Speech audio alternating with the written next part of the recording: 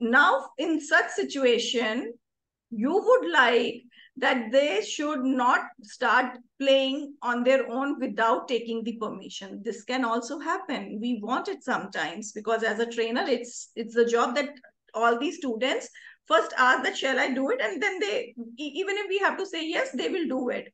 So in that case if they have already started to doing it acknowledge it first.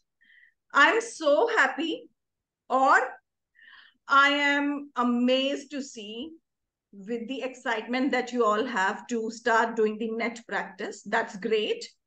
Only thing is, okay, so change change your entire statement to what you want first you will acknowledge i'm amazed to see your excitement i'm amazed to amazed to see your dedication towards net practice only thing is students before doing the net practice the briefing will happen every day so while keep on enhancing this excitement or keep on enhancing this dedication and ensure that this dedication also includes the time that you spend in the briefing. I would love that. This is how we will handle and maintain the decorum. Okay, so this is another way. Acknowledge, appreciate AA, acknowledge, appreciate, and then come to the point.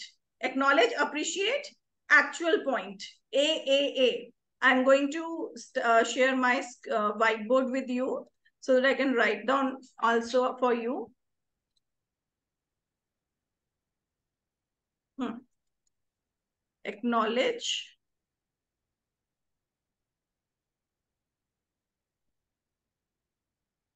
Appreciate actual point you want to convey. It's triple A.